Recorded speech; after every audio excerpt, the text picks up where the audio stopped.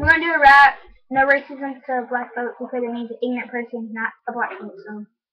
So, one, two, three, go. I'm on my way to my mama's house. Next thing you know, I see a guy, right? I say, Dad, pull over. I need to talk to him. So I get out the car and start talking to him, right? And this this is what happened.